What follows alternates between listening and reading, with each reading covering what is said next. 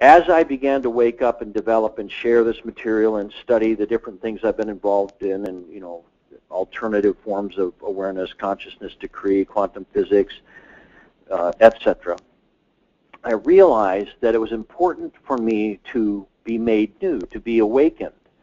So this is some of what I see as required to shift old patterns into new patterns.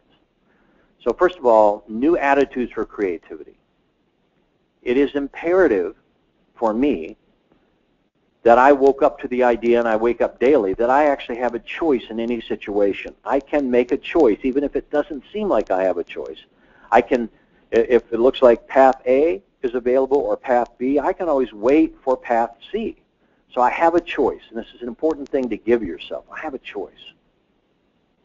And to realize that I am, in the I am that I am idea, I am a co-creator and I can do things differently. In fact, one of my things that I share in my trainings is do everything differently. When you go home today, or you know whatever, I, I have people do every, every you know brush your teeth differently, sleep differently in your bed, be in a different you know speak differently to your children, your partner, etc. So I can do things differently, and this is how we get outside of our box.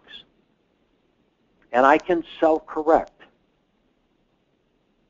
and I can even if it's not seemingly available, I can choose to choose.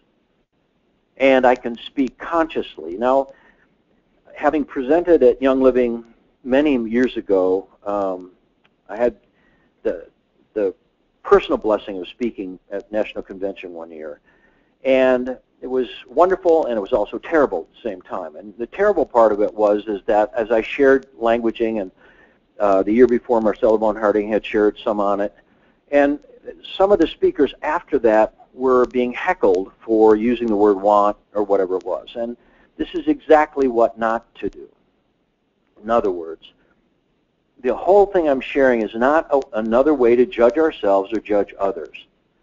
Consciously, in my words, the word conscious denotes love.